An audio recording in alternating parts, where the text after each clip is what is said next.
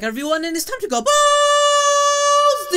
Today there is a lot to discuss about Black Clover. Number 1. Lucifer's appearance and the final villain behind the Dark Triad. Oh, she's the one. Number 2. Yuno's new powers and how it's matching up to Asta. And number 3. Zenon's backstory and death. Let's begin with chapter 310 as it helps me explain a spicy, a bit of masala, a bit of garam masala in that. You know what I'm saying, my Indian fans? Shout out to you once again. I love my Indian bros, to Bangladesh. Filipinos, can't forget about you too. Shout out to all of you. I love you guys. Our community is amazing. And I have a spicy theory for our entire community regarding Lucifer's plan. So we first begin with Zenon and Yuno's magic clashing. Zenon's bones are thrown across the entire arena. However, Yuno uses conjunction which is an instantaneous movement between his stars. He blindsides Zenon and performs a spell called Quartile Flagellum Flagel why does he always make these mispronunciations? I hate ABD. Well guys, try to pronounce this word yourself. Go on, give it a go. Give it a go, mate. Quartile Flagellum, which continues the theme of his star spells being named from Latin words as it means whip. Yuno connects a beam through the star and slices Zenon in half like his Mortal Kombat fam. However, it can't destroy a devil's heart as Zenon keeps regenerating. We see Yuno dual wield the whip and the spirit of Zephyr like I'm, I look like I'm dripped out, fam. With Yuno unleashing his ultimate drip, Zenon decides to match him by creating a bone sword combined with spatial magic coating called Dine Slife. Hey yo, Tabata, you're killing me here. How, am I, how do I pronounce this word? Zenon decides to match him by creating a bone sword combined with spatial magic coating called Dainsleif. This sword can launch the spatial coating to create a spatial rupture that are impossible to defend against. Dainsleif in Norse mythology is a mighty weapon named after a dwarf called Dane, whose name means dead in Old Norse. The name of the weapon can be translated into Dead Legacy, which uh, by the way the Dark Triad will be after Yuno's done. you know what I'm saying?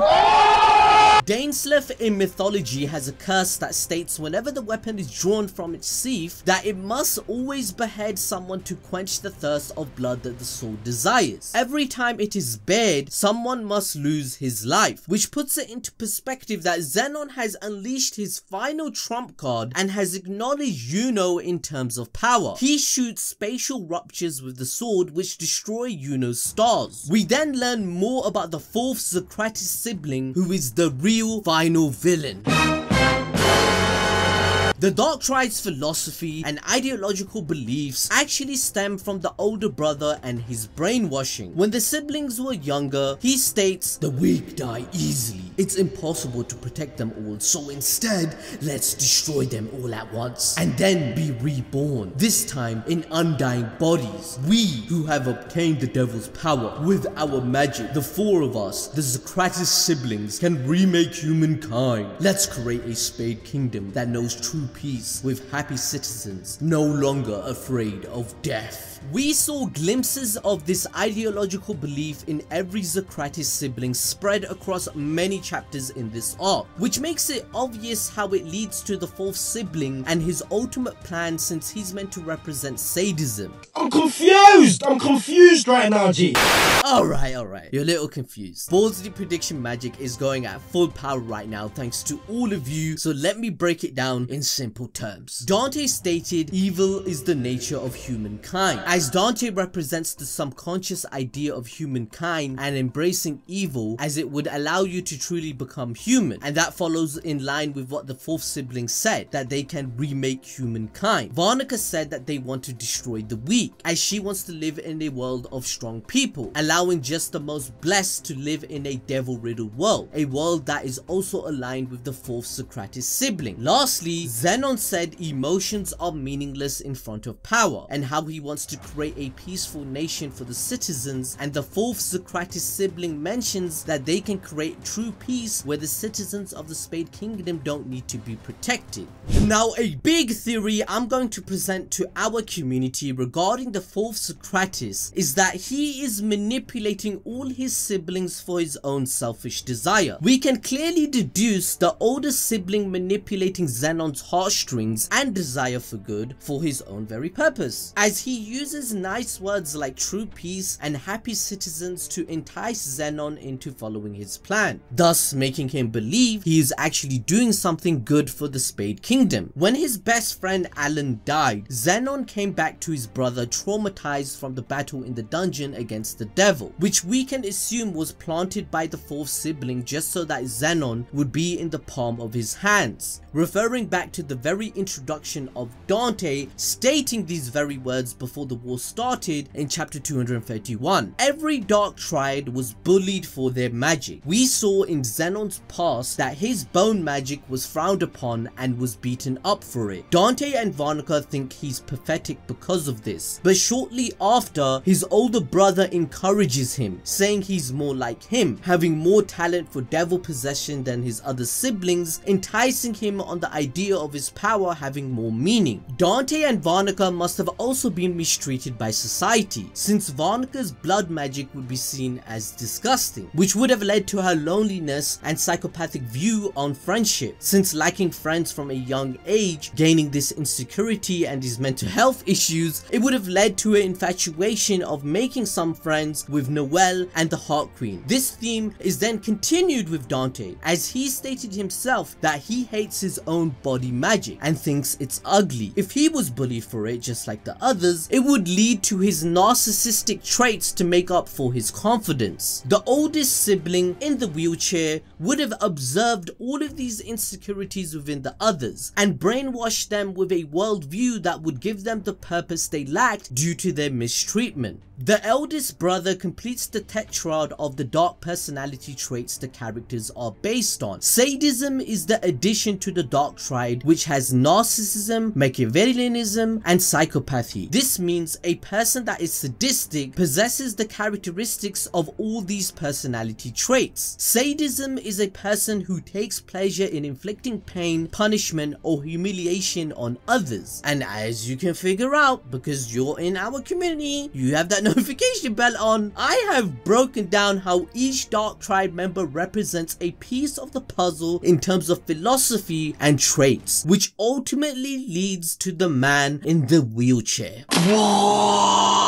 The fact that there are four siblings explains why the Time Devil, who is one of the three kings of hell, is still nowhere to be seen. And that's because at least one of the kings of hell must be for himself. We all saw the sheer versatility Julius had with time magic, as just with a magic tool and his own magic, Julius managed to cheat death itself. Seeing as the fourth sibling was in a wheelchair, but claims that his potential of devil possession is the most powerful out of all the siblings, it just proves that he can be taken over by a devil at 100% power. Since Zenon already completed this feat with Beelzebub, who is one of the kings mentioned in chapter 286. When we saw Nacht trying to make a deal with Lucifuge, a high-ranked devil that serves the three kings, his body and magic couldn't handle the sheer amount of power, which caused the ritual to fail and his brother dying. This proves to me that something is stopping the fourth sibling from 100% completing his contract with his devil to his absolute desire. His face is yet to be revealed, but it will definitely have a tattoo that represents the contract just like the other characters. One of the kings of hell obviously requires a strong body to be able to make the contract and begin the assimilation between vessel and host. The fourth sibling could be manipulating his entire family to create a perfect body for himself to achieve this and then attain their goal of world domination. He probably lost his legs whilst being in contract with one of the devils or he gave them away as part of a contract just like Asta did with his arm and Zenon did with his soul. The fact that he mentions undying bodies in chapter 310 is extremely interesting because it shows that there is a plan in mind to regenerate. If we look at the chapter called Undying Bodies, which is chapter 278, it actually featured a color page with the triad laying down in a pool of blood, forming a triangle, as if it's a ritual and they're part of a sacrifice. This image could be inspired from the river Styx, which in Greek mythology is a river in the underworld. And this river expresses a loathing of death. And if you bathe in the river Styx successfully, you would gain physical invulnerability. This is more likely what this color page represents and explains the plan that the fourth sibling has since he is feeble and weak and in a wheelchair. He wants to gain not only immortality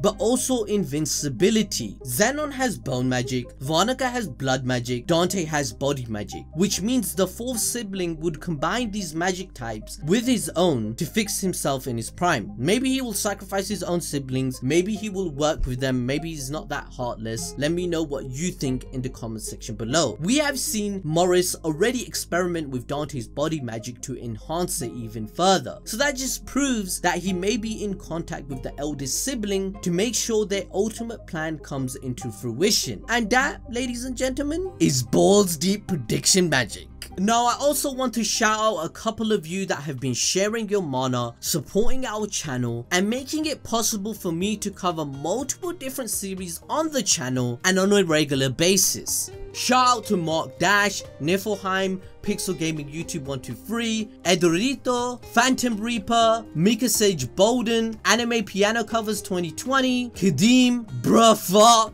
what the hell? Teku Senju, Black Trunks, The Boondocks Fan, and many, many, many, many more of you. Your donations and using the thanks feature for our comment section, which by the way, I will shout out all of you that donate. You will be featured on a video if you donate to the channel. And in the future, we are going to fix our memberships where there will be a private discord for those that support us. I just wanted to give these people what they deserve. Thank you for sticking with our community. Smash that like button, but let's get back to the video. Moving back to the chapter, we see the sheer insanity of this fight as the entire building starts crumbling down. Yuno teleports with the spirit of Boreas in hand, ready to strike down Zenon. However, he reacts by casting a spatial rupture destroying the weapon. With that, Yuno's stars have broken and he has no way to defend or dodge. But here comes the fatal mistake that Zenon makes. He says, this time it really is over. And we know this is a shonen me. When the villains say it's over, it means it's over for their stupid ass. This is when we get the explanation for how a spirit user can achieve Saint Stage. Saint Stage is when the resonance between the user and spirit is close to 100%. And throughout this fight, Yuno has become more true to himself. As in the last chapter, the wind spirit said that she finally felt like she met the real Yuno, meaning the synchronization is now better than it was before. The Dryad in the previous chapters stated to Noelle that Saint Stage is a power that destroys evil and is also capable of killing a devil's heart, therefore making it arcane and allowing Yuno to kill Zenon. Behind Yuno are a multitude of portals, all with bones coming out of them. They stab Yuno in several places at once, making him stuck. And as Zenon goes in for the final blow, he teleports and then he sees the spell in his grimoire being used. It's conjunction. Zenon mentions that in the face of overwhelming strength, everything is meaningless and claims his victory. But oh,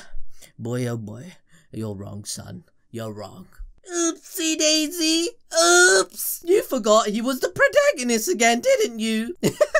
he realizes that it's the opposite, where his own strength became the catalyst for Yuno's growth. It's a funny irony because Zenon has lost in the face of Yuno's overwhelming power. The stronger the mage, the more stars are born, which gives him the victory. Yuno snaps back at Zenon saying, you mean we win?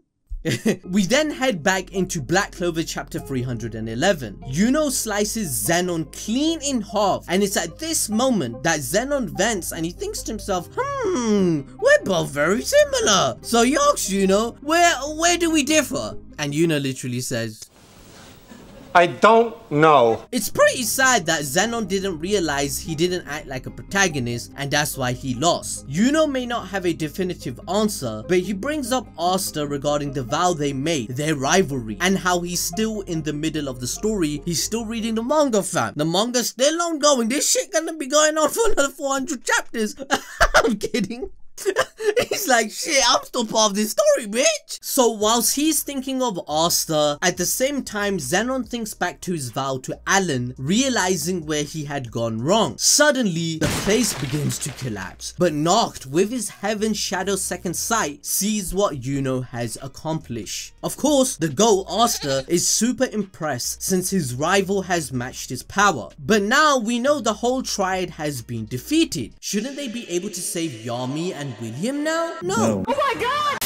Nacht comments that all three Zogratis siblings are defeated, yet the advent hasn't ended. The manga then switches to the spirit guardians, who are struggling against a horde of devils. They keep coming out, more and more keep coming, and it's not stopping at all, like these devils are out to kill fam. The manga then decides it's about time to give Julius some relevance again. One of my favorite characters is back on screen, almost about to faint. I'm tired of suffering.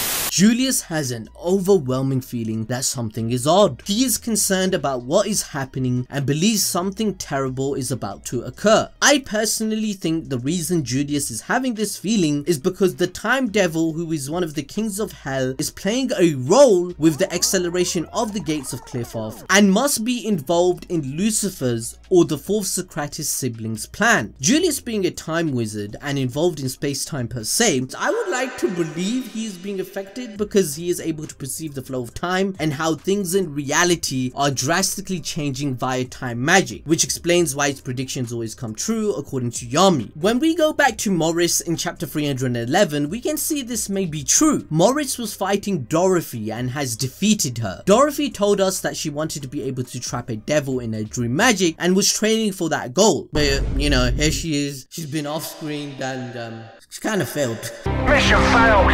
We'll get them next time. Lie, lie, lies, and more lies. Oh my god! We then see Balls Deep prediction magic coming true. Lotus betrayed Morris and he was a spy. But just like Dorothy, he ain't no match for a dude that powerful. I mean, look, this dude's missing a literal arm for crying out loud. We're reminded that Lotus has a family to go back to. And that's why he does what he does. When suddenly, Morris confirms to us that the Dark Triad aren't needed anymore Shut the fuck up. Morris sees himself as a prophet and believes his impairment led him to be chosen by the devil. Remember that. Lucifero can now talk through Morris and mocks Dante, implying that he's stupid, stupid. and confirming that he was nothing but a Lucifer mentions that he knew all along what Magicula was doing by manifesting earlier than intended through her ritual, and that he was observing her as an experiment. First off, let's give some claps. Claps guys! Let's give some claps to Tabata! He maintained the integrity of Lucifer and did good writing by having his true host be Morris and disassociating himself with Dante, making him not seem as a stupid, stupid, king. You know what I'm saying? We were all wondering, why is Lucifer not interfering with the world if he can see that Dante's trash? trash he has the omniscient power, what is he doing, mate? Now we can see that he had puppets and layers of safety for his meticulous planning for the Qliphoth to succeed. Lucifer's goal is just like Magicula, to manifest earlier than intended, meaning the second gate will not be another Qliphoth devil, but Lucifer himself. We are in the end game. He now sees that it's possible thanks to both Magicula and Morris's reconstruction magic. Morris states that he remade the tree of Qliphoth with his magic. The only people that are required now are Yami and William. He creates a new monstrous demon to destroy all of them and Lotus is about to die. But that's when Mike Ting, my guy, my girl. We get the whole gang joining the party now. Vanessa, Gauche, Gordon, Grey, and Henry show up. They pull up. Okay. With the Black Bull base form fam, they're ready to kick some devil ass. But again, they only mention Yami, no one cares about William. Who? Bruh, this joke doesn't die. They literally don't mention him. No one cares. Who? Anyway, guys, that's my analysis for the week. I could have gone into more in depth, but of course, I will save that for next week. Make sure that you have the notification bell on for the channel. Make sure to smash the like button, follow us on Twitter or Instagram, or donate if you want a shout out, and we'll see you guys next time.